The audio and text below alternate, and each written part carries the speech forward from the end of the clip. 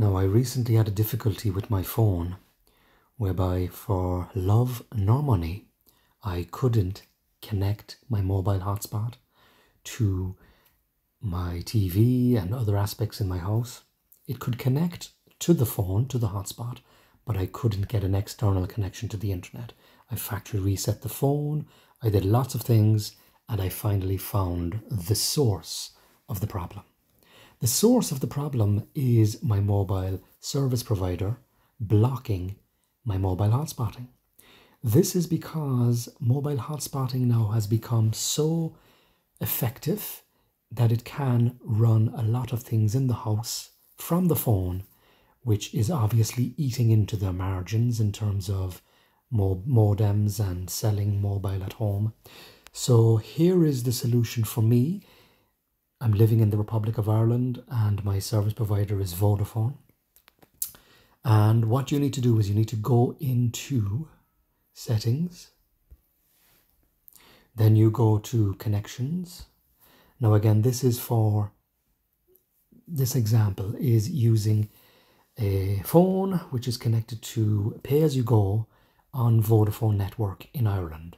Now it may be the case that similar operators outside of the country or even other operators in the country are doing the same thing. So this may be beneficial for you also. So again, getting back to the, the, the issue at hand, I go to connections and I go to mobile networks. Then I go to access point names. A big shout out to boards.ie because this is the original place where I found the solution. All you need here is Vodafone Live. So Vodafone Live exclamation mark.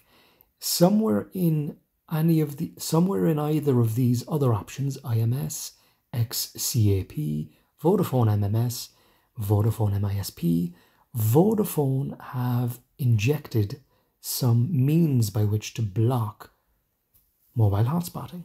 So the solution is very simple. Delete everything here except Vodafone Live. Now again, this is prefaced by me saying this has worked for me.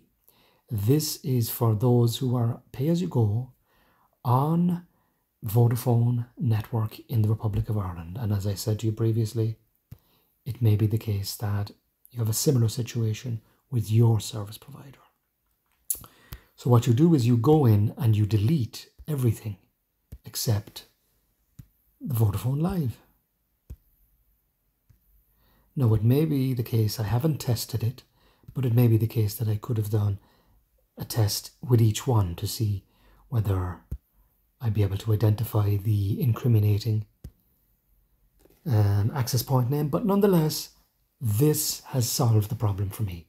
And if you just simply do a restart perhaps change the the actual mobile hotspot name and password as well, just to be sure to be sure.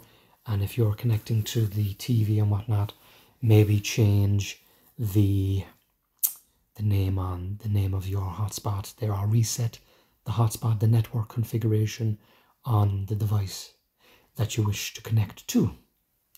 So that is the end of this video after several weeks of tearing out my hair in trying to find a solution. I have now found the solution to my hotspotting, saving me considerable amounts of money per month, and hopefully this will remedy your problem if you have the same issue. Thank you for watching.